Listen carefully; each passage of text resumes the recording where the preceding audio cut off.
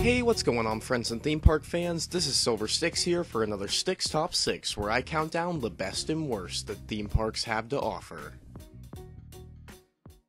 Alrighty folks, here on Stix Top 6, we've talked a lot about the Universal Orlando Resort, specifically Universal Studios and Islands of Adventure, but one area I haven't touched upon at all, and where we'll be traveling to today, is of course their very own legendary water park, Volcano Bay.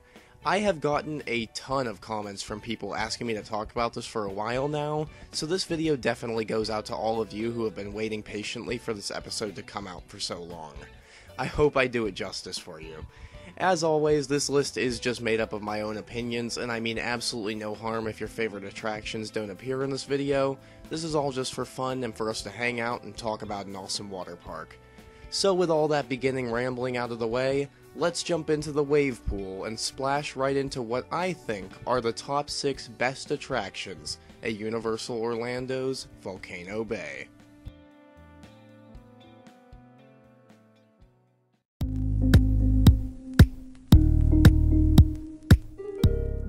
Kicking things off today, we'll be heading over to the River Village where we'll find two interwinding slides called Honu Ika Moana. Ika Moana is a green, mostly indoor slide with tons of twists and turns that almost anyone of any age can enjoy. It's known as the whale side. However, while Ika Moana is great by all means, for our number 6 spot today, I just have to pick Honu based on the friendly sea turtle of the same name from Waturi mythology. In simpler terms, this is the blue slide, known as the turtle side, and it's definitely more intense in every sense of the word.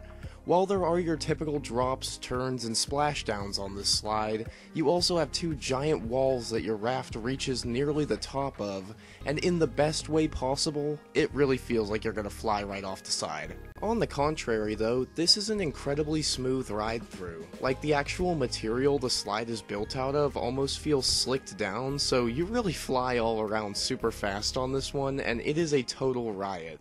Honestly, even if you're like me and usually afraid of heights, this is still a really fun ride, and it makes you feel pretty confident after you're able to conquer it too. I personally think everyone should go ahead and give both Honu and Ika Moana one ride through each. I'm sure you'll like at least one of them regardless of what type of person you are. But personally, Honu is my preference all the way, any day. Let me know down in the comments though which of them you enjoy most. I'd really love to know.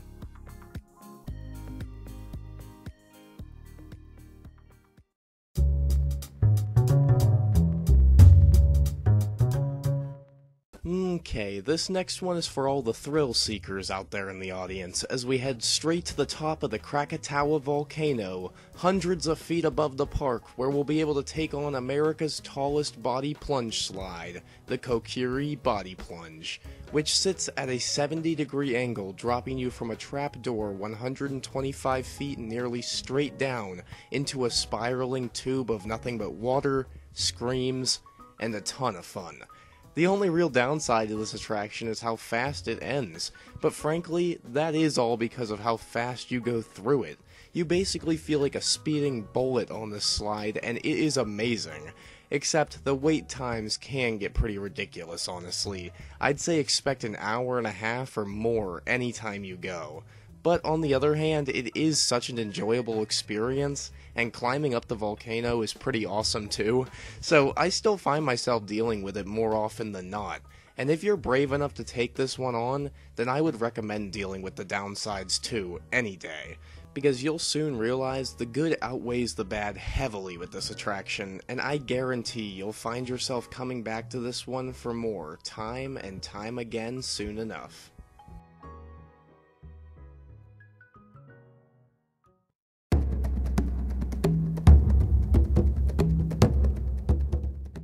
Alrighty, let's cool things down for a minute while we strap on our life vest and head over to the Rainforest Village section of the park to take a trip around Teawa, the Fearless River, a high-speed whitewater torrent river that features choppy waves and churning rapids, or simply put, what I like to call the Crazy Lazy River, because that just sums it up perfectly.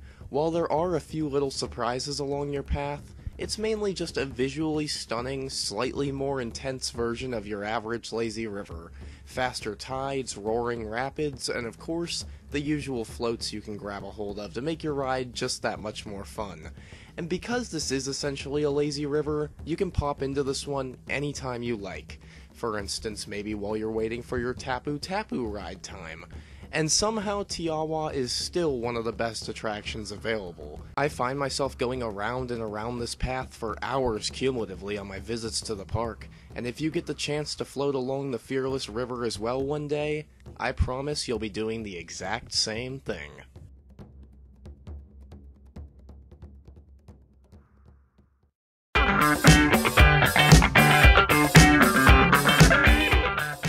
Climbing our way back to the top of the Krakatau volcano, right near the Ko'okiri body slide no less, we'll come across two crisscross serpentine slides, Kala and Tai Nui.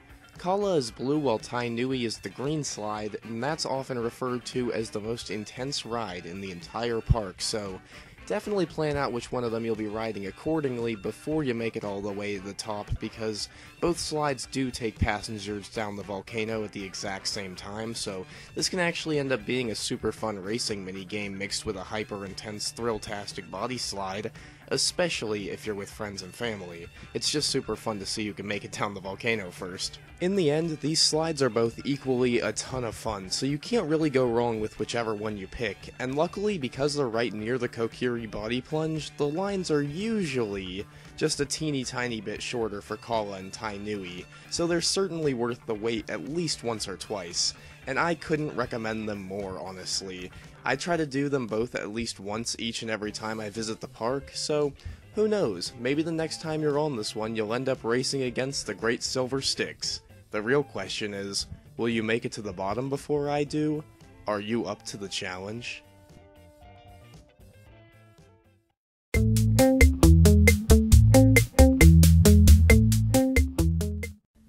Winding all around the Krakatau volcano, we'll actually come across the flagship attraction of Volcano Bay, the oh so spectacular Krakatau Aqua Coaster. This ride is just flat out awesome, simple as that. Unlike most water parks, on this attraction you don't just board a float or a small raft for your journey, no, no, no. You actually hop aboard a four person canoe that bobs and weaves up and down and all around through dark tunnels and over drops surrounded by tikis and other incredible scenery, all throughout the beautiful and powerful Krakatau volcano and it is mind blowing, seriously. There are so many points when you feel like you may not have enough momentum to make it up one of the pretty massive hills, and then the next second you're falling down a drop at full speed with water spraying in your face. I really just can't describe the rush of emotions and adrenaline you'll feel on this coaster. It is just perfect. The slide itself also just looks plain awesome, and there's plenty of moments outdoors to see just how high up you are before taking you back in the dark and regardless of where you are, you're bound to be smiling and screaming at the top of your lungs on this attraction the entire time, just wishing it would never have to end.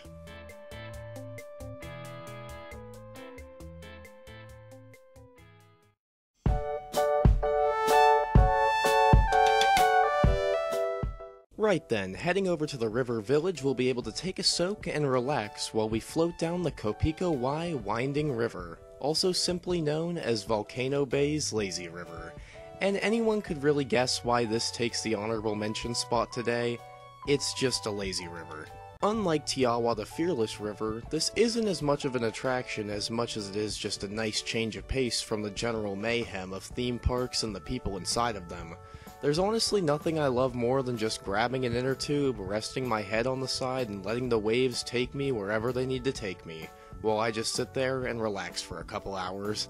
It is genuinely the best way to use time waiting for your TapuTapu, or just if you're tired, you can take a load off. One way or another, lazy rivers are perfect and they deserve respect, alright?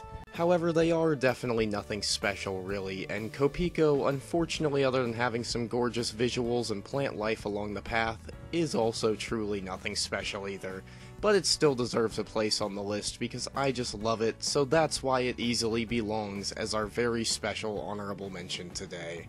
Congratulations, cheers all around.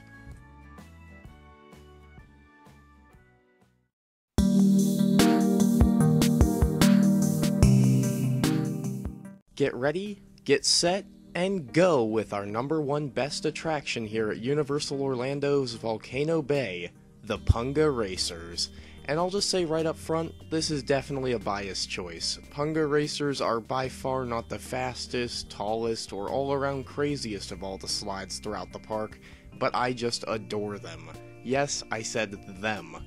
Punga Racers are four separate slides that guests can race down headfirst on what are known as Manta Mats towards the finish line while the winner gets sprayed by Punga himself as a watery salute.